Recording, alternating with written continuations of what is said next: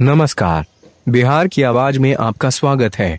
हम हाजिर हैं आपके सामने। अभी तक की कुछ प्रमुख खबरों के साथ।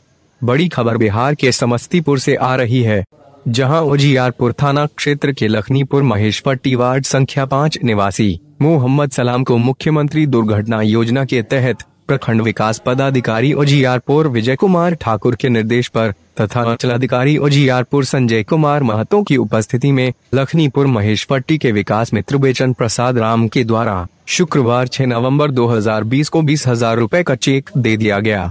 मुख्यमंत्री दुर्घटना योजना से संबंधित सहायता राशि का चेक निर्गत करते हुए विकास मित्र बेचन प्रसाद राम ने बताया कि इस योजना का लाभ उस व्यक्ति को दिया जाता है, जिस घर के किसी सदस्य की मृत्यु किसी दुर्घटना में हो गई हो।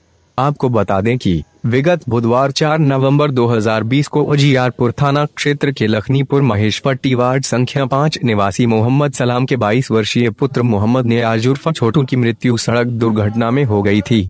इस बाबत पूछे जाने पर अंचलाधिकारी उजियारपुर संजय कुमार महतो ने बताया कि मृतक का पोस्टमार्टम रिपोर्ट प्राप्त होते ही मृतक के परिजनों को आपदा विभाग द्वारा जारी मृतक अनुग्रह अनुदान की राशि चार लाख का चेक भी निर्गत कर दिया जाएगा। मौके पर लखनीपुर महेश पट्टी के पूर्व मुखिया मोहम्मद हफीज भी मौजूद थे। अभी तक के लिए बस इतना ही। कुछ देर बाद हम फिर हाजिर होते हैं। कुछ अन्य खबरों के साथ। तब तक बने रहिए बिहार की आवाज़ के साथ। नमस्कार।